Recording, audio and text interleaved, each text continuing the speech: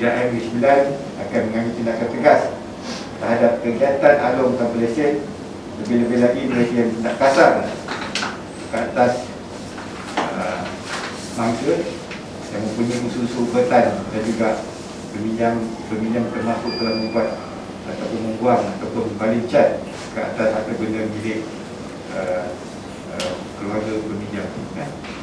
dan sehingga semalam Jabatan Kesihatan dan Komersial Negeri Sembilan telah membuka sebanyak 30 kertas kesihatan.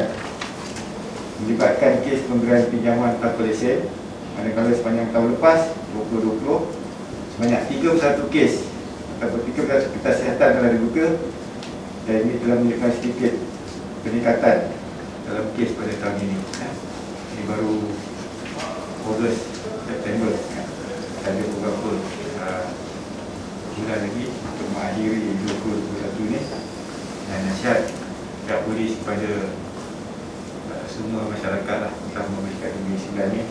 Elakkanlah membuat pinjaman dari pemberi pinjaman wang corporation kan? uh, tak menguntungkan siapa pun. Uh, dan bila dah berlaku begini barulah mangsa buat buat report.